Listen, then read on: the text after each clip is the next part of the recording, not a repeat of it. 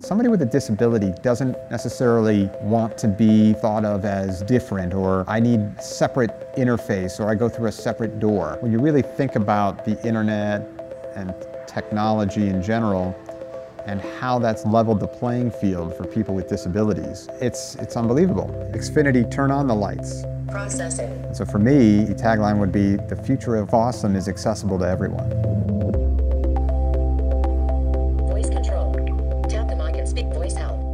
Watch MSNBC.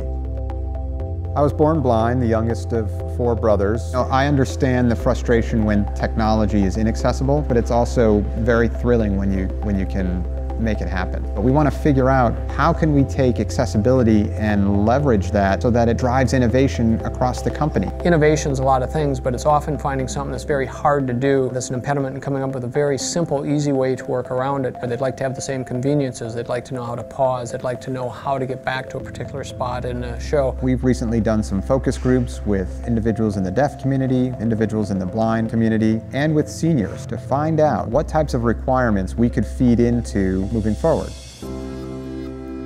Most people don't think of blind people as watching television. However, to be excluded from that really makes it more difficult for blind people to participate fully in society, which is what, of course, we all want. Now playing NBC 10 News at 4 p.m. The ability to find content that's on demand and to play it or record it, even just the ability to scroll through a channel guide and to know what's on. Those things have, until very recently, been unavailable to us. We are developing the cable industry's first uh, talking guide. When you navigate the menus of your set-top box, whatever is highlighted on screen gets announced in speech. This technology has given me, for the first time in my life, greater access to print and information than I've ever had. Start.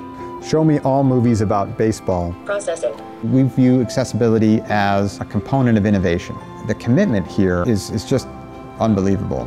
People want to do this. We get excited about doing these products, and when you see people use them and you see their delight, it's heartwarming to see. Comcast is really at the forefront of accessibility in this area. It's the only company that I'm aware of testing and planning to provide this level of access. It's opening new doors and traveling into uncharted territory, making what used to be impossible possible. It's a blank canvas out there that we can paint on, and I'm looking forward to diving in.